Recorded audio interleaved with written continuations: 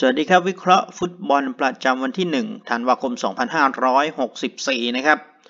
พบกับเหลาร้อยหลากันอีกเช่นเคยนะครับ บทวิเคราะห์ดีๆ แบบนี้นะครับ ช่องทางของ YouTube Channel ครับเหลาร้อยหลานะครับผม ก่อนอื่นเลยนะครับ ไปสรุปผลเมื่อคืนที่ผ่านมาก่อนนะครับ คู่แรกเป็นทางด้านของนิวคาสเซิลนะครับ ให้รองที่นอริชนะครับปอปอหรือครึ่งลูก คู่นี้ได้เต็มไปนะครับ คู่ 2 เป็นทางด้านของลีดส์ยูไนเต็ดกับคริสตัลพาเลซคู่นี้ให้รองเช่นกันนะครับ ที่ปอปอก็โดน จุดโทษในทดบาดเจ็บเลยนะครับ คู่นี้นะครับ คู่ต่อไปไปที่กัลโช่เซเรียอาครับเป็นอาตาลันตานะครับแล้วก็ให้รองที่เอซีเวนิชนะครับสลูกนะครับ คู่นี้โดนไป 4 เม็ดนะครับ ต้านทานความแข็งแกร่งของอาตาลันตาไม่อยู่นะครับ คู่ที่คู่ต่อไปนะครับเป็นทางด้านของฟิออเรนติน่านะครับแล้วก็ให้รองที่ซามพ์โดเรียนะครับ ยิงขึ้นนำก่อนแต่โดนไป 3 ต่อ 1 ในครึ่งแรกเองนะครับ หลังจากนั้นก็ทำอะไรกันไม่ได้นะครับ คู่สุดท้ายเป็นทางด้านของยูเว่ครับคู่นี้ตามมาตรฐานนะครับก็ยูเว่ครับชนะไป 2 ประตูต่อศูนย์นะครับกินเต็มไปนะครับผมเช่นเคยครับวันนี้ก็มีให้กันอีกนะครับทั้งหมดนะครับ5คู่นะครับ เป็นทางด้านของพรีเมียร์ลีกอังกฤษนะครับแล้วก็เป็นทางด้านของลาลิก้าของสเปนอย่างเรอัลมาดริดนะครับ คู่แรกเป็นทางด้านของเซาท์แฮมป์ตันครับราคาที่เสมอนะครับ คู่ 2 เป็นทางด้านของการมาเยือนของเชลซีกับวัตฟอร์ดนะครับวัตฟอร์ดเนี่ยรับการมาเยือนจ่าฝูงอย่างเชลซีนะครับเป็นเชลซีต่อที่ลูกควบลูกครึ่งนะครับคู่ 3 เป็นแอสตันวิลล่าครับรับการมาเยือนของทีมแกร่งจากแมนเชสเตอร์นะครับเป็นแมนเชสเตอร์ซิตี้นะครับวันนี้ก็แมนเชสเตอร์ซิตี้มาต่อที่ลูกควบลูกครึ่งเช่นกันนะครับ คู่ต่อไปครับ หงแดงอย่างลิเวอร์พูลทำเมอร์ซี่ไซด์ดาร์บี้กับเอเวอร์ตันในบ้านของเอเวอร์ตันนะครับผม ที่กูดิสันพาร์คแล้วก็คู่สุดท้ายที่ลาลิก้าของสเปนนะครับเป็นทางด้านของเรอัลมาดริดนะครับจ่าฝูงฟอร์มกำลังสุดยอดเลยนะครับ ต่อที่ลูกควบลูกครึ่งนะครับ อย่างลิเวอร์พูลเมอร์ซีไซด์ดาร์บี้กับเอเวอร์ตันเนี่ยลิเวอร์พูลเป็นฝ่ายต่อที่ครึ่งควบลูกนะครับ เพื่อไม่ให้เป็นการเสียเวลาไปที่คู่แรกกันก่อนนะครับ เป็นทางด้านของเซาท์แฮมป์ตันนะครับ คู่นี้เตะกันที่บ้านของเซาท์แฮมป์ตันนะครับที่เซนต์แมรี่นะครับตีสองครึ่งอุณหภูมิ 6 องศานะครับ คาดว่าจะมีฝนตกเหมือน คืนที่ผ่านมานะครับเลสเตอร์ซิตี้นะครับฟอร์มค่อนข้างดีมา 2 นัดติดนะครับ ชนะติดกันมา 2 นัดนะครับ ทั้งบอลยุโรปแล้วก็ฟุตบอลของพรีเมียร์ลีกนะครับ ทั้งคู่นะครับพบกันมา 6 นัดหลังสุดในล่าสุดเป็นทางด้านการเสมอกันนะครับ1ประตูต่อ1ในการมาเยือนสนามแห่งนี้เช่นกันนะครับ ก่อนหน้านั้นเลสเตอร์ชนะได้ใน FA คัพในบ้านของเลสเตอร์นะครับ ย้อนไปต้นปีครับเป็นเลสเตอร์ชนะได้ในบ้าน 2-0 นะครับ แล้วก็เซาท์แฮมป์ตันชนะได้ในปี 2020 กับ 2 ประตูต่อ 1 ปี 2019 เลสเตอร์มาถล่มได้ถึง 9-0 ในสนามแห่งนี้นะครับ ก่อนหน้านั้นก็เซาท์แฮมป์ตันไปเยือนเลสเตอร์ก็ชนะได้ 2-1 นะครับสถิติเอนเอียงเป็นทางด้านของเลสเตอร์นะครับ วันนี้จากเลสเตอร์ซิตี้นะครับ จากเลสเตอร์มายังเซาท์แฮมป์ตันนะครับ 192 กิโลเมตรนะครับ ตารางคะแนนของ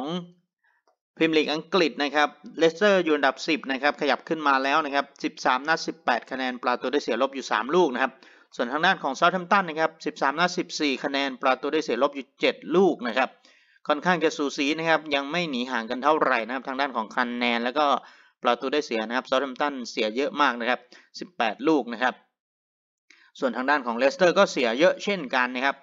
เซาท์แฮมป์ตันล่าสุดนะครับ ผลงาน 6 นัดหลังสุดเนี่ยล่าสุดไปเยือนทางด้านของลิเวอร์พูลแพ้มา 4-0 นะครับ ก่อนหน้านั้น แพ้กับนอริชนะครับ 2-1 ชนะแอสตันวิลล่าได้ในบ้าน 1-0 นะครับ ไปเยือนวัตฟอร์ดชนะได้ 1-0 เสมอกับเชลซีได้ในการไปเยือน 1 ประตูต่อ 1 เสมอกับเบิร์นลีย์ในบ้านนะครับ 2 ประตูต่อ 2 นะครับ ทางด้านของเลสเตอร์ซิตี้ครับ ฟอร์มกลับมาดีแล้วนะครับ ล่าสุดชนะทางด้านของวัตฟอร์ดได้ 4-2 เลยนะครับ ก็เปิดบ้านรับเลเกียในบอลยุโรปก็ชนะได้ 3-1 นะครับ ก่อนหน้านั้นรับการเยือนของเชลซีแพ้ไป 3-0 นะครับ เสมอกับลีดส์ 1-1 เสมอกับสปาร์ตักมอสโกนะครับ 1 ประตูต่อ 1 แพ้กับอาร์เซนอลนะครับ 2 ประตูต่อ 0 นะครับ ผลงาน 6 นัดหลังของทั้งคู่นะครับ นับเฉพาะเกมเหย้านะครับ ทางด้านของเจ้าบ้านอย่างเซาท์แฮมป์ตัน เพิ่งจะชนะทางด้านของแอสตันวิลล่ามา 1-0 เสมอเบิร์นลีย์ 2-2 นะครับ ชนะลีดส์ 1-0 แพ้กับวูฟ1-0 นะครับ เสมอเวสต์แฮม 0-0 เสมอกับแมนเชสเตอร์ยูไนเต็ดนะครับ 1 ประตูต่อ 1 ทางด้านของเลสเตอร์นับเฉพาะเกมเยือนนะครับล่าสุดในเสมอกับลีดส์มา 1-1 เยือนเบรนท์ฟอร์ดชนะได้ 2-1 นะครับ ชนะสปาร์ตักมอสโก 4-3 เสมอกับคริสตัลพาเลซ 2-2 นะครับ แล้วก็แพ้กับเลเกียวอร์ซอว์นะครับ 1-0 ไปเยือนมิลล์วอลล์ก็ชนะได้ 2 ประตูต่อ 0 นะครับ เกมเยือนของเลสเตอร์ซิตี้นะครับ เรตติ้งความยากง่ายวันนี้นะครับเป็นทางด้านของเจ้าบ้านก่อนนะครับ เจอเลสเตอร์วันนี้ 3 คะแนนครับนัดหน้าต้องเปิดบ้านรับไบรท์ตันนะครับอยู่บ้าน 2 นัดก็ 3 คะแนนเช่นกันนะครับหลังจากนั้นต้องไปเยือนทางด้านของอาร์เซนอลความยากอยู่ที่ 4 คะแนนเลยนะครับทางด้านของเลสเตอร์วันนี้นะครับ2คะแนนนัดหน้าไปเยือนแอสตันวิลล่าก็ 2 คะแนนนะครับแล้วก็ไปปิดท้ายบอลยุโรปนะครับในการไปเยือนนาโปลีนะครับความยากถึง 5 คะแนนนะครับ ผู้เล่นที่คาดว่าจะไม่ได้ลงสนามของเจ้าบ้านก่อนนะครับ เป็นแจ็คสตีเฟนส์นะครับ ลงไม่ได้ครับกองหลังกองหน้าอย่าง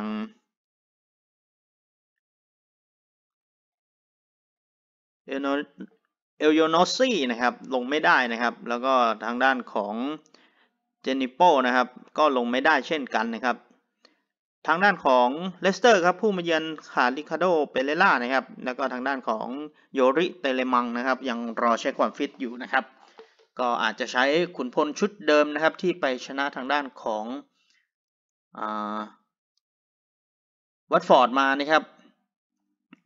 ล่าสุดที่ชนะมานะครับดาวซัลโวของทีมครับทางด้านของเจ้าบ้านเป็นเชอดัมส์แล้วก็อาร์มสตรองนะครับทางด้านของเลสเตอร์ครับแน่นอนครับเป็นเจมี่วาร์ดี้นะครับฟอร์มกำลังร้อนแรงเลยครับยิงไป 9 ประตูนะครับผม คู่นี้นะครับเป็นทางด้านของเซาท์แฮมป์ตันนะครับราคาที่เสมอ ดูแล้วว่าวันนี้นะครับเลสเตอร์อาจมีสิทธิ์ที่จะเก็บคะแนนกลับบ้านได้นะครับ แล้วก็อาจจะเบียดชนะได้ เพราะฉะนั้นครับเหลาร้อยหลานะครับ คู่แรกเปิดหัวด้วย อยู่รองทางด้านของเลสเตอร์ซิตี้ครับ ราคาเสมอหรือใครได้ราคาที่ปปก็ร้องได้นะครับ ผมคู่แรกเปิดหัวกันอย่างนี้เลยนะครับ คู่ต่อไปครับเป็นทางด้านของวัตฟอร์ดครับเปิดบ้านรับกำเยือนของเชลซีครับ จ่าฝูงของเรานะครับ ที่วิคลาดโรส วันนี้อุณหภูมิ 5 องศานะครับ แล้วก็พยากรณ์อากาศว่าฝนจะตกด้วยนะครับ ที่เจอกันมานะครับ6นัดหลังเนี่ยวัตฟอร์ดชนะแค่นัดเดียวครับ ที่เหลือเชลซีชนะได้ถึง 5 ครั้งนะครับ ล่าสุดเนี่ยเป็นเชลซีชนะได้ในบ้านนะครับถึง 3 ประตูต่อศูนย์ในการไปเยือนของวัตฟอร์ดนะครับ ก่อนหน้านั้นปี 2019 ครับ เชลซีมาเยือนสนามแห่งนี้ชนะได้ 2-1 เชลซีในบ้านชนะได้ 3-0 นะครับ ปี 2018 เชลซีมาเยือนก็ชนะได้ 2-1 นะครับ ก่อนหน้านั้นก็บ้านของวัตฟอร์ด วัตฟอร์ดชนะได้นะครับในปี 2018 ชนะได้ถึง 4 ประตูต่อ 1 นะครับ ทางด้านของปี 2017 เนี่ยเป็นทางด้านของเชลซีนะครับ ชนะได้ 4 ต่อ2นะครับ วันนี้ก็บ้านใกล้เรือนเคียงนะครับ ก็จากลอนดอนมาวัตฟอร์ดนะครับ เดินทางนิดหน่อยครับ 24 กิโลเมตรเท่านั้นเองนะครับ เชลซีนำเป็นจ่าฝูงครับ 13 นัด 30 คะแนน ประตูได้เสียบวกถึง 26 ลูกนะครับ ยิงได้ถึง 31 เสียไป 5 ประตูนะครับ ทางด้านของวัตฟอร์ดอยู่ท้ายตารางนะครับ อยู่อันดับ 16 พ้นจากโซนตกชั้นมา 2 อันดับนะครับ 13 นัด 13 คะแนน ประตูได้เสียลบอยู่ 6 ลูกนะครับ เสียถึง 24 ลูกนะครับผม ทั้งคู่นะครับ ผลงานล่าสุดของทั้งคู่นะครับ 6 นัดหลังเนี่ย ทางด้านของเจ้าบ้านวัตฟอร์ดก่อนนะครับ พึ่งแพ้ให้กับเลสเตอร์มาในการไปเยือนนะครับ 4-2 ก่อนหน้านั้นชนะแมนเชสเตอร์ยูไนเต็ดได้ 4-1 ในบ้านของตัวเองนะครับ แพ้ให้กับอาร์เซนอลในการไปเยือน 1-0 ชนะเซาท์แพ้ให้กับเซาท์แฮมป์ตันนะครับ 1-0 เช่นกันนะครับ แล้วก็ไปเยือนทางด้านของเอเวอร์ตันเนี่ยชนะได้ถึง 5 ประตูต่อ 2 นะครับ แพ้กับลิเวอร์พูล 5-0 นะครับผม ทางด้านของเชลซีนะครับ 6 นัดหลังยังไม่แพ้นะครับ แต่ล่าสุดเสมอกับแมนยูมาในบ้านของตัวเองนะครับ 1 ประตูต่อ 1 ชนะยูเว่4-0 นะครับ ไปเยือนเลสเตอร์ชนะได้ถึง 3-0 นะครับ เสมอกับเบิร์นลี่ย์ 1-1 ไปเยือนมัลโม่ชนะได้ 1-0 ไปเยือนนิวคาสเซิลนะครับ ชนะได้ 3 ประตูต่อ 0 นะครับผม ผลงานนับเฉพาะเกมในบ้านนะครับ ทางด้านของวัตฟอร์ดเพิ่งชนะทางด้านของแมนเชสเตอร์ยูไนเต็ดมา 4 ประตูต่อ 1 เลยนะครับ แพ้กับเซาท์แฮมป์ตัน 1-0 แพ้ลิเวอร์พูล 5-0 นะครับ เสมอนิวคาสเซิล 1-1 แพ้สโต๊กซิตี้ 3-1 นะครับแล้วก็แพ้ให้กับ วูล์ฟแฮมป์ตันนะครับ2-0ครับทางด้านของเชลซีนะครับในการไปเยือนแพ้แค่นัดเดียวนะครับในบอลยุโรปที่ไปเยือนทางด้านของยูเว่แพ้ 1-0 นะครับที่เหลือนัดล่าสุดที่ผ่านมาไปเยือนเลสเตอร์ ชนะได้ 3-0 เยือนมัลโม่ชนะ 1-0 เยือนนิวคาสเซิลชนะ 3-0 เยือนเบรนท์ฟอร์ดชนะ 1-0 นะครับแล้วก็เยือนทางด้านของท็อตแนมฮอตสเปอร์ชนะได้ถึง 3 ประตูต่อ 0 นะครับ เรตติ้งวันนี้ครับแน่นอนครับวัตฟอร์ดเจอเชลซีจ่าฝูงแบบนี้ 5 คะแนนครับทางด้านของเชลซีเจอวัตฟอร์ดวันนี้ 1 คะแนนนะครับวัตฟอร์ดนัดนี้เสร็จนัดหน้าเจอแมนซิตี้ต่อเลยนะครับในบ้านของตัวเองคะแนนความยากอยู่ที่ 5 เช่นกันนะครับเชลซีนัดหน้าต้องไปเยือนเวสต์แฮมนะครับหลังจากนั้นต้องไปเตะบอลยุโรปนะครับเจอกับเซนิตก็ความยากอยู่ที่ 5 คะแนนเช่นกันนะครับ ผู้เล่นที่อาจจะลงสนามไม่ได้นะครับทางด้านของเจ้าบ้านก่อนนะครับ มากันเพียบเลยนะครับ ที่ยังรอเช็คความฟิตก็อีกเพียบนะครับ ที่ลงไม่ได้นะครับเป็นทางด้านของมาซิน่านะครับกองกลางเบนฟอสเตอร์ประตูนะครับ แล้วก็ทางด้านของเดนนิสนะครับลงไม่ได้นะครับ อิสไมลาซาร์ก็ยังลงไม่ได้นะครับกองหน้าตัวหลักเลยนะครับทางด้านของเชลซีลงไม่ได้เป็นโควาซิชนะครับแล้วก็ก็องเต้นะครับ เช็คความฟิตของชิลเวลล์อยู่นะครับผม ผลงานนะครับดาวซัลโวของทีมเป็นเดนนิสแล้วก็คิงนะครับแล้วก็อิสไมลาซาร์นะครับคนละ 5 ประตูนะครับทางด้านของเชลซีนะครับเป็นรีซเจมส์นะครับ 4 ประตูชิลเวลล์ 3 ประตูนะครับลูกากูก็รอเช็คความฟิตอยู่ว่านัดนี้จะได้ลงตัวจริงหรือไม่นะครับ ยิงไป 3 ประตูนะครับ คู่นี้ครับเป็นทางด้านของเชลซีมาถึงก็มาต่อตามราคาเลยนะครับ ลูกควบลูกครึ่ง เราร้อยหลามองไว้ว่านะครับคู่นี้นะครับค่อนข้างขาดนะครับ แล้วก็ฟอร์มค่อนข้างดีกว่าเยอะเลยนะครับ แล้วก็ผู้เล่นที่จะลงสนามไม่ได้ของวัตฟอร์ดเนี่ยมีค่อนข้างเยอะนะครับรอเช็คความฟิตก็อีกเยอะนะครับ น่าจะมีปัญหาเหมือนกันนะครับ นัดนี้นะครับ เพราะฉะนั้นนะครับเราร้อยหลาครับต่อไปที่เชลซีครับคู่ที่ 2 แบบนี้นะครับ ครึ่งควบลูกนะครับผม ต่อไปครับคู่ที่3นะเป็นทางด้านของแอสตันวิลล่านะครับเปิดบ้านรับการมาเยือนของแมนเชสเตอร์ซิตี้ลูกทีมของสตีเวนเจอร์ราร์ดนะครับ วันนี้เตะกันที่วิลล่าพาร์คตี35นาทีตามเวลาประเทศไทยนะครับ อุณหภูมิ2องศานะครับท้องฟ้าค่อนข้างปลอดโปร่งนะครับ ทั้งคู่เจอกันมาหลายครั้งนะครับ ทั้งหมดเนี่ยหนัดหลังสุดเนี่ยเป็นทางด้านของซิตี้ชนะได้ทั้งหมดนะครับ ล่าสุดเป็นทางด้านของซิตี้มาเยือนสนามแห่งนี้ชนะได้2-1 ก่อนหน้านั้นบ้านแมนเชสเตอร์ซิตี้ก็ชนะได้ 2-0 นะครับ ปี 2020 ย้อนไปนะครับ 2 นัดที่เจอกันก็เป็นแมนซิตี้ชนะได้ 2-1 กับ 6-1 นะครับ ในการมาเยือนสนามแห่งนี้ ปี 2019 แมนซิตี้ชนะได้ในบ้าน 3-0 เลยนะครับ ปี 2016 ก็ชนะได้ 4-0 เลยนะครับผม วันนี้ครับจากแมนเชสเตอร์มาที่เบอร์มิงแฮมนะครับ 111 กิโลเมตรนะครับ การเดินทางวันนี้นะครับ ทางด้านของแมนซิตี้ครับ มี 13 นัดนะครับมี 29 คะแนนนะครับ ประตูได้เสียบวกอยู่ 20 ลูกนะครับ อยู่อันดับ 2 ของตารางตามจ่าฝูงอย่างเชลซีแค่ 1 คะแนนเท่านั้นเองนะครับ ทางด้านของแอสตันวิลล่าอยู่กลางตารางครับ 13 นัด 16 คะแนนนะครับ ประตูได้เสียลบอยู่3ลูก ผลงานค่อนข้างดีนะครับ หลังสุดที่ผ่านมานะครับ 2 นัดหลังนะครับเจ้าบ้านพึ่งชนะทางด้านของคริสตัลพาเลซมาครับ 2 ประตูต่อ 1 ก่อนหน้านั้นชนะไบรตันได้ในบ้าน 2-0 นะครับ ก่อนการมาเยือนของสตีเวนเจอร์ราร์ดนะครับ รับงานนี้มาก็ฟอร์มดีเลยนะครับ ก่อนหน้านั้นเนี่ยแพ้มา 4 นัดติดแพ้กับเซาแธมป์ตัน1-0 แพ้กับเวสต์แฮม 4-1 แพ้อาร์เซนอล 3-1 นะครับ แพ้กับวูล์ฟแฮมป์ตัน 3-2 นะครับผม ทางด้านของผลงานเจ้าบ้านนะครับ ทางด้านของแมนเชสเตอร์ซิตี้ผลงาน 6 นัดหลังนะครับ แพ้แค่นัดเดียวเท่านั้นเองนะครับ ก่อนล่าสุดเนี่ยเป็นทางด้านการ เฝ้าบ้านนะครับรับการเยือนของเวสต์แฮมชนะได้ 2-1 ชนะปารีสได้ในบ้าน 2-1 นะครับชนะเอเวอร์ตันได้ในบ้าน 3-0 ไปเยือนแมนยูชนะได้ 2-0 นะครับชนะคลับบรูช4-1 ในบ้านนะครับแล้วก็แพ้กับคริสตัลพาเลซในบ้านนะครับ 2 ประตูต่อศูนย์นะครับลูกทีมของเป๊ปค่อนข้างฟอร์มดีนะครับช่วงนี้ นับเฉพาะเกมในบ้านของแอสตันวิลล่านะครับล่าสุดเนี่ยชนะไบรตันมา 2-0 ก่อนหน้านั้นแพ้กับเวสต์แฮม 4-1 แพ้กับวูล์ฟ 3-2 ชนะเอเวอร์ตัน 3-0 นะครับ เสมอเบรนท์ฟอร์ด 1-1 ชนะนิวคาสเซิล 2-0 นะครับ ทางด้านของแมนเชสเตอร์ซิตี้นับเฉพาะเกมเยือนนะครับ ล่าสุดไปชนะทางด้านของแมนยูมานะครับในศึกแมนเชสเตอร์ดาร์บี้นะครับ2ประตูต่อ0นะครับ เสมอกับเวสต์แฮม 0-0 นะครับ ชนะทางด้านของไบรตันนะครับ 4-1 ชนะคลับบรูชนะครับในการไปเยือน 5-1 นะครับ เสมอกับลิเวอร์พูล 2-2 นะครับ แล้วก็แพ้กับปารีสนะครับ 2 ประตูต่อ 0 นะครับ เรตติ้งวันนี้ครับแอสตันวิลล่าเจอกับงานยากเลยนะครับ 5 คะแนนนะครับ ทางด้านของแมนเชสเตอร์ซิตี้นะครับ มาเยือนวันนี้ก็ 2 คะแนนนะครับ หลังจากนี้แมนเชสเตอร์ซิตี้ก็ต้องไปเยือนทางด้านของวัตฟอร์ดนะครับ ความยากอยู่ที่ 1 คะแนน หลังจากนั้นก็ทำศึก ยูฟ่าแชมเปี้ยนส์ลีกนะครับในการไปเยือนอาร์บีไลป์ซิกนะครับทางด้านของเจ้าบ้านแอสตันวิลล่านัดนี้เจอแมนซิตี้นัดหน้าเจอเลสเตอร์นะครับหลังจากนั้นก็ต้องไปเยือนทางด้านของลิเวอร์พูลที่คะแนนความยากถึง 5 คะแนนเช่นเดียวกับวันนี้นะครับ ทั้งคู่นะครับผลงานค่อนข้างจะออกมาดีทั้งคู่นะครับ แล้วก็การเปลี่ยนผู้จัดการทีมที่มาเป็นสตีเวนเจอร์ราร์ดก็ค่อนข้างจะดีนะครับ ผลงานทางด้านของผู้เล่นที่รอเช็คความฟิตของเจ้าบ้านก็ เบอร์ทรานด์ตราโอเร่นะครับ ที่รอเช็คความฟิตอยู่ที่เหลือลงได้ปกตินะครับ ทางด้านของแมนซิตี้นะครับ โดนแบนอย่างเบนจามินเมนดี้นะครับ แล้วก็ลงไม่ได้อย่างแจ็คกรีลิชนะครับ เควินเดอบรอยน์นะครับ แล้วก็ทางด้านของฟิลโฟเด้นด้วยนะครับวันนี้นะครับ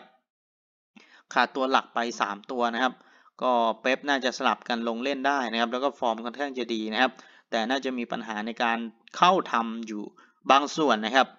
ทางด้านของแอสตันวิลล่าวันนี้ครับที่ปรับมาดูจากฟอร์มแล้ว เกมรับกระชับขึ้นนะครับแน่นขึ้นนะครับ คู่นี้แมนเชสเตอร์ซิตี้นะครับต่อที่ลูกควบลูกครึ่งนะครับ เหล่าร้อยล้านนะครับวิเคราะห์มาแล้วนะครับ ดูจากราคาแล้วก็จากฟอร์ม แล้วก็จากผู้เล่นที่คาดว่าจะได้ลงสนามวันนี้นะครับ รองที่แอสตันวิลล่าดีกว่าครับเจ้าบ้านน่าจะมีความฮึกเหิมอยู่เป็นอย่างมากนะครับในการ รับมือกับแมนเชสเตอร์ซิตี้วันนี้ครับ เพราะฉะนั้นนะครับ คู่นี้นะครับให้รองที่แอสตันวิลล่าครับ ลูกควบลูกครึ่ง หรือใครได้รองที่ลูกครึ่งนะครับ ก็รีบจิ้มนะครับ ไปต่อกันที่คู่บิ๊กแมตช์แห่งเมอร์ซี่ไซด์นะครับ คู่นี้ไม่มีใครยอมใครนะครับ เป็นเอเวอร์ตันนะครับ เจอกับลิเวอร์พูลตีสามสิบห้านาทีตามเวลาประเทศไทย เตะกันที่กูดิสันพาร์คนะครับ วันนี้อุณหภูมิสี่องศานะครับ ท้องฟ้าค่อนข้างปลอดโปร่งนะครับ ทั้งคู่นะครับหกนัดหลังนะครับเป็นทางด้านของลิเวอร์พูลครับชนะได้ถึง 2 ครั้งนะเอเวอร์ตันก็ชนะได้ 1 ครั้งหนักไปทางด้านเสมอกันมากกว่านะครับล่าสุดเป็นเอเวอร์ตันด้วยนะครับที่ชนะได้ในการไปเยือนที่แอนฟิลด์นะครับ2ประตูต่อศูนย์นะครับก่อนหน้านั้นปี 2020 เจอกัน 3 ครั้งเสมอกัน 2 ครั้งนะครับในบ้านของเอเวอร์ตันแห่งนี้นะครับลิเวอร์พูลชนะได้ในบ้านแค่ครั้งเดียวนะครับ1-0นะครับปี 2019 เป็นลิเวอร์พูลชนะได้ 5-2 ในบ้านของลิเวอร์พูลนะครับ ในบ้านของเอเวอร์ตันเนี่ยก็เสมอกันนะครับ0ประตูต่อ0นะครับ ตารางคะแนนของอังกฤษพรีเมียร์ลีกนะครับเป็นทางด้านของลิเวอร์พูลนะครับก่อนนะครับอยู่อันดับ3นะครับ13 นัด 28 คะแนนตามจ่าฝูงอยู่ 2 คะแนนนะครับประตูที่เสียบวก 28 ลูกนะครับยิงได้ถึง 39 ลูกนะครับทางด้านของเอเวอร์ตันนะครับ13 นัดนะครับ15 คะแนนประตูได้เสียลบอยู่ 4 ลูกนะครับ วันนี้นะครับ เรตติ้งโมเมนตัมอยู่ที่ทีมเยือนอย่างลิเวอร์พูลซะส่วนมากนะครับ เพราะ 6 นัดหลังของเอเวอร์ตันเนี่ยล่าสุดเนี่ยก็เพิ่งแพ้กับเบรนท์ฟอร์ดมา 1-0 แพ้แมนเชสเตอร์ซิตี้ 3-0 ในการไปเยือนทั้งคู่นะครับ เปิดบ้านรับสเปอร์สทำได้แค่เสมอนะครับ 0-0 ไปเยือนวูล์ฟก็แพ้ไปนะครับ 2-1 เปิดบ้านรับวัตฟอร์ดแพ้ถึง 5-2 นะครับ แพ้กับเวสต์แฮมในบ้าน 1-0 นะครับ ยังไม่ชนะใครนะครับ 6 นัดหลังมีแค่ 1 แต้มเท่านั้นเองนะครับ ทางด้านของเอเวอร์ตันฟอร์มค่อนข้างย่ำแย่มากนะครับทางด้านของลิเวอร์พูลครับวันนี้ครับฟอร์มค่อนข้างดีนะครับ ช่วงนี้เนี่ยยิงสกอร์ห่าง 2 ลูกเนี่ยทั้งหมดนะครับตอนชนะนะครับ ล่าสุดเนี่ยชนะเซาท์แฮมป์ตันได้ 4-0 ชนะปอร์โต้ 2-0 ชนะอาร์เซนอล 4-0 นะครับ แต่เกมเยือนเนี่ยแพ้กับเวสต์แฮม 3-2 ชนะแอตเลติโกมาดริด 2-0 เสมอกับไบรตัน 2 ประตูต่อ 2 นะครับ นับเฉพาะเกมเหย้านะครับของเจ้าบ้านอย่างเอเวอร์ตันนะครับเพิ่งเสมอกับสเปอร์สมา 0-0 ก่อนหน้านั้นโดนวัตฟอร์ดยิง 5-2 นะครับแพ้ไปนะครับ แพ้กับเวสต์แฮม 1-0 นะครับเสมอนอชนะนอริชนะครับ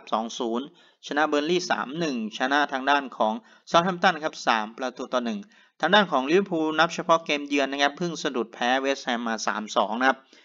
ก่อนหน้านั้นชนะเปรสตันนอร์ทเอนด์ได้ 2-0 นะครับ ชนะแมนยู 5-0 ชนะแอตเลติโกมาดริด3-2 ชนะวัตฟอร์ด 5-0 ชนะทางด้านของปอร์โต้นะครับ 5-1 เลยนะครับ เรตติ้งวันนี้ครับ แน่นอนครับเอเวอร์ตันเจอลิเวอร์พูลชั่วโมงนี้เรตติ้งอยู่ที่ 5 นะครับ หรือใครเจอกับลิเวอร์พูลชั่วโมงนี้ก็ยากทั้งนั้นนะครับงานยากทั้งนั้น ทางด้านของลิเวอร์พูลครับวันนี้มาเยือนเอเวอร์ตันเรตติ้งอยู่ที่ 2 คะแนนเท่านั้นเองนะครับนัดหน้าไปเยือนวูล์ฟความยากอยู่ที่ 4 แล้วก็ต้องไปเยือนทางด้านของเอซีมิลานด้วยนะครับ ความยากถึง 5 คะแนนนะครับ นัดนี้เอเวอร์ตันเจอลิเวอร์พูลนัดหน้าเปิดบ้านรับอาร์เซนอลต่อเลยนะครับ ความยากอยู่ที่ 4 คะแนนนะครับ วันนี้ครับผู้เล่นที่ไม่ชนะไม่สามารถลงสนามได้ของเจ้าบ้านก่อนนะครับ เป็นทางด้านของโฮลเกตนะครับ ที่ลงไม่ได้ติดโทษแบน แล้วก็ริชาร์ลิซอนด้วยนะครับ ลงสนามไม่ได้ ที่เหลือรอเช็คความฟิตนะครับ ทางด้านของลิเวอร์พูลรอเช็คความฟิตของเฟอร์มิโน่นะครับ แล้วก็เกอิต้านะครับ เกมรุกก็ยังมีมาเน่แล้วก็ทางด้านของซาลาห์ทำเกมอยู่ปกตินะครับดาวซัลโวของทีมครับทางด้านของเจ้าบ้านก่อนนะครับ เป็นทางด้านของคัลเวิร์ตเลวินเกรย์แล้วก็ทาวน์เซนด์นะครับยิงคนละ 3 ประตูทางด้านของลิเวอร์พูลแน่นอนครับเป็นมูฮัมหมัดซาลาห์นะครับ 11 ลูกนะครับโจต้า 7 ลูกเท่ากับมาเน่นะครับ คู่นี้นะครับAsian handicap ให้ลิเวอร์พูลต่อแค่ครึ่งควบลูกเองนะครับ ราคาค่อนข้างขัดใจเวลามาเป็นทีมต่อนิดนึงนะครับ ทางด้านของลิเวอร์พูลถ้าลิเวอร์พูลจะยิงได้น่าจะต่อเยอะกว่านี้นะครับ วันนี้น่าจะเป็นเมอร์ซีย์ไซด์ดาร์บี้ด้วยนะครับ เขาเลยให้ต่อที่ครึ่งควบลูกเองนะครับ แต่โมเมนตัมน่าจะเอนเอียงไปทางด้านของลิเวอร์พูลมากกว่านะครับ น่าเก็บชัยชนะได้ไม่ยาก แต่ราคานี้ครับเหลาร้อยหลามองว่านะครับ เอเวอร์ตันน่าจะสู้ได้ตามราคานะครับ ราคามันล่อตาล่อใจนักลงทุนมากนะครับ เพราะฉะนั้นนะครับ รองที่เอเวอร์ตันครับครึ่งควบลูกหรือใครได้ลูกเต็มก็รองได้นะครับผมคู่นี้เมอร์ซีย์ไซด์ดาร์บี้แบบนี้นะครับ ก็รองที่เอเวอร์ตันดีกว่านะครับ ไปปิดท้ายกันที่ลาลีกาของสเปนนะครับ เป็นทางด้านของเรอัลมาดริดนะครับ เปิดบ้านรับแอตเลติกบิลเบานะครับเตะกันตีสามตรง วันนี้ที่ซานติอาโกเบร์นาเบว 8องศานะครับ คาดว่าฝนจะตกด้วยนะครับ ทั้งคู่นะครับเจอกันมา 6 ครั้งเนี่ยเป็นทางด้านของเรอัลมาดริดนะครับชนะได้ถึง 4 ครั้งแอตเลติกบิลเบาชนะได้แค่ครั้งเดียวนะครับ ล่าสุดเนี่ยเป็นเรอัลมาดริดนะครับชนะได้แค่ 1-0 นะครับ ก่อนหน้านั้นก็เป็นแอตเลติกบิลเบามาเยือนที่เบร์นาเบวนะครับชนะได้ 2-1 ปี 2021 ต้นปีนะครับ ปี 2020 เป็นเรอัลมาดริดครับชนะได้ 3-1 ในบ้านแห่งนี้นะครับ ก่อนหน้านั้นก็ไปเยือนชนะได้ 1-0 เสมอกันในปี 2019 0-0 นะครับ แล้วก็เรอัลมาดริดเจ้าบ้านชนะได้ 3-0 ในปี 2019 นะครับ วันนี้จากบิลเบาเดินทางมามาดริดนะครับ 319 กิโลเมตรนะครับ ต้องใช้เวลาเดินทางกันนิดนึงนะครับเรอัลมาดริดกลับขึ้นมาเป็นจ่าฝูงของลาลีกานะครับ 14 นัด 33 คะแนน ประตูได้เสียบวก 19 ประตูเลยนะครับ กลับมาแล้วนะครับสำหรับราชันชุดขาวนะครับ ทางด้านของแอตเลติกบิลเบามีลุ้นที่จะเข้าไป เล่นบอลถ้วยยุโรปในปีหน้านะครับ อยู่อันดับ 8 นะครับ 14 นัด 20 คะแนนนะครับ ประตูได้เสียบวก 13 ประตูนะครับ ค่อนข้างจะเสียยากนะครับ เสียแค่ 10 ประตูนะครับ ผลงาน 6 นัดหลังของเรอัลมาดริดเนี่ยยังโหดเลยครับ ชนะรวดทั้ง 6 นัดนะครับ ล่าสุดก็ชนะทางด้านของเซบีย่ามา 2-1 ก่อนหน้านั้นชนะเชริฟฟ์ 3-0 นะครับ เยือนกรานาด้าก็ชนะได้ 4-1 ชนะราโยได้ 2-1 ชนะชักตาโดเนต2-1 ชนะเอลเช่ 2-1 นะครับ มีนัดเดียวครับที่เก็บ clean sheet ได้ในการไปเยือนของเชริฟฟ์เท่านั้นเองที่เหลือก็โดนไปนัดละ1ลูกนะครับ ทางด้านของเรอัลมาดริดนะครับแอตเลติกบิลเบาครับ6นัดหลังนะครับแพ้1ชนะ1ที่เหลือหนักไปทางด้านของเสมอนะครับ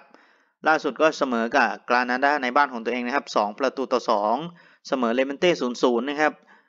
แพ้กับคาดิสหนึ่งศูนย์นะครับเสมอกับเรอัลโซซิเดดในการมาเยือนนะครับหนึ่งหนึ่ง เสมอกับเอสปันยอนหนึ่งหนึ่งนะครับ แล้วก็ชนะทางด้านของบียาร์เรอัลได้ในบ้านนะครับสองประตูต่อหนึ่งนะครับ ผลงานนับเฉพาะเกมในบ้านนะครับ ทางด้านของเรอัลมาดริดก็ชนะเซบียาได้สองหนึ่งชนะรายโยสองหนึ่งชนะชัคตาร์โดเนตส์คนะครับสองหนึ่งเช่นกันนะครับ เสมอโอซาซูน่าศูนย์ประตูต่อศูนย์นะครับ แพ้กับเชอรีฟสองหนึ่งเสมอกับบียาร์เรอัลศูนย์ประตูต่อศูนย์นะครับ แอตเลติกบิลเบาหกนัดหลังยังไม่แพ้แต่เสมอไปถึง 5 นัดนะครับ ชนะได้แค่นัดเดียวในการชนะทางด้านของเซลตาบีโก้หนึ่งประตูต่อศูนย์เท่านั้นเองนะครับ ก่อนหน้านี้ล่าสุดเสมอกับเลบานเต้ศูนย์ศูนย์เสมอเรอัลโซซิเดดหนึ่งประตูต่อหนึ่งเสมอเอสปันยอนนะครับหนึ่งประตูต่อหนึ่งเสมอบาเลนเซียหนึ่งหนึ่งเช่นกันนะครับ แล้วก็เสมอกับทางด้านของแอตเลติโกมาดริดเนี่ยศูนย์ประตูต่อศูนย์นะครับแอตเลติกบิลเบาเจอทีมใหญ่ค่อนข้างจะมีผลงานที่ดีนะครับ หนักไปทางด้านเสมอเท่านั้นเองนะครับ แล้วก็ยิงได้ค่อนข้างปรับปลายนะครับ แต่เกมรับยังเหนียวนะครับทางด้านของแอตเลติกบิลเบานะครับเรอัลมาดริดครับเรตติ้งวันนี้เจอบิลเบา3คะแนนครับนัดหน้าต้องไปเยือนเซลเรียลโซซิเดตนะครับความยากถึง 4 คะแนนนะครับหลังจากนั้นเจออินเตอร์ต่อด้วยแอตเลติโกมาดริดเลยนะครับความยากที่ 5 คะแนนเลยนะครับวันนี้ครับแอตเลติกบิลเบามาเยือนเรอัลมาดริดวันนี้ก็นาทีนี้นะครับก็ 5 คะแนนเลยนะครับ ความยากนะครับฟอร์มค่อนข้างร้อนแรงนะครับทางด้านของเจ้าบ้านนะครับ หลังจากนั้นไปเยือนทางด้านของเกตาเฟ่นะครับ ความยากอยู่ที่ 2 คะแนนเท่านั้นเองนะครับ ผู้เล่นที่คาดว่าจะไม่ได้ลงสนามแล้วก็รอเช็คความฟิตกันอยู่นะครับ ทางด้านของเจ้าบ้านนะครับ รอเช็คความฟิตของเอเดนอาซาร์นะครับ แกเร็ธเบล โรดริโกนะครับ ทางด้านของบิลเบานะครับ เช็คความฟิตของวิเวียนนะครับ กองหลังตัวหลักนะครับ แล้วก็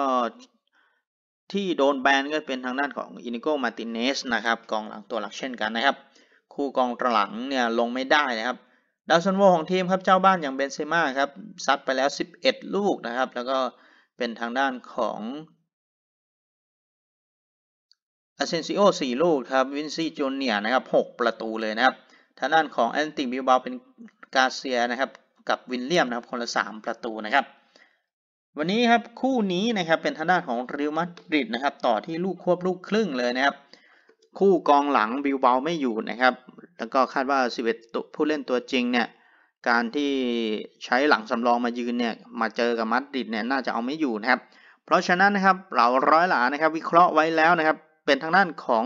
การต่อที่เรอัลมาดริดดีกว่านะครับ ใครได้หนึ่งลูกเต็มก็รีบจิ้มนะครับ หรือใครได้ที่ราคาลูกควบลูกครึ่งก็เล่นได้ครับเป็นลุ้นกันเม็ด 2 มากกว่านะครับ วันนี้ครับจบครบกันทั้ง 5 คู่นะครับ ให้พิจารณากันนะครับ ก่อนการลงทุนนะครับ ทบทวนกันอีกทีหนึ่งนะครับ คู่แรกเป็นทางด้านของเซาแธมป์ตันครับ ราคาเสมอให้รองที่เลสเตอร์ซิตี้ครับ คู่ 2 ต่อที่เชลซีครับ ลูกควบลูกครึ่งครับ รองแอสตันวิลล่ากับแมนซิตี้นะครับ ลูกควบลูกครึ่งครับ รองเอเวอร์ตันครับ ครึ่งควบลูก เพราะว่าราคามันค่อนข้างแปลกนะครับ แล้วก็ ต่อที่เรอัลมาดริดนะครับ ลูกควบลูกครึ่งนะครับผม ครบจบทั้ง 5 คู่นะครับ วันนี้ก็ขอให้ทุกท่านโชคดีนะครับ พรุ่งนี้เจอกันได้ใหม่นะครับ อีกเช่นเคยนะครับ กับเหลาร้อยหลานะครับ มีบทวิเคราะห์ดีๆ แบบนี้ให้ท่านได้ทุกวันนะครับ วันนี้ก็ขออนุญาตลาไปก่อนนะครับ กดติดตามกดไลค์กดแชร์ให้กันด้วยนะครับ แล้วก็ตั้งแจ้งเตือนไว้ด้วยท่านจะได้ไม่พลาดนะครับ ข้อคิด วิเคราะห์ดีๆ แบบนี้นะครับ ให้ท่านได้ทุกวันนะครับ วันนี้ขออนุญาตลาไปก่อนนะครับ สวัสดีครับ